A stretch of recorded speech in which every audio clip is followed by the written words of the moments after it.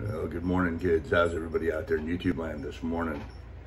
Old Grandpa here. We're gonna do another reading today. Uh, one of Emily Dickinson. I'm gonna do a series of Emily Dickinson poems, and then I'll move on to a different poet. But today we're gonna read "Success is Counted Sweetest" by Emily Dickinson.